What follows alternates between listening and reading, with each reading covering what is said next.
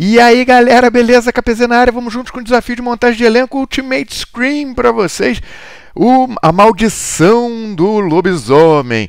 E, obviamente, o lobisomem precisa de prata, bala de prata, então vamos precisar de jogadores prata. Mas antes de falar disso, rapidinho, só lembrando, se você gosta de DMS, se você gosta de tutoriais de FIFA, se você gosta de trade, você gosta de vários outros games, já se inscreve no canal correndo aí e vamos direto pro vídeo, like nele e vamos lá. Você vai precisar ter no máximo três jogadores da mesma liga, no máximo três jogadores do mesmo país.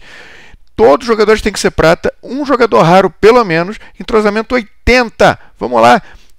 Igawa, Eduardo, Soulbauer, Nakamura, Pritchard, Naismith e McKay. Esse time está saindo no momento, corre porque vai ficar, vai ficar caro, mas no momento ele está saindo entre 3 e 4 mil coins.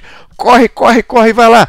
É isso aí, meus amigos, aquele abraço. Não se esqueçam de se inscrever no canal, curtir a nossa página do Facebook, facebook.com.br, mandar o seu golaço para o golaço dos inscritos lá, conhecer o nosso Instagram, arroba Capezeta Games, conhecer o nosso Twitter, arroba Capezeta, conhecer o nosso Twitch, barra Capezeta. É isso aí, meus amigos, até a próxima, aquele abraço, fui!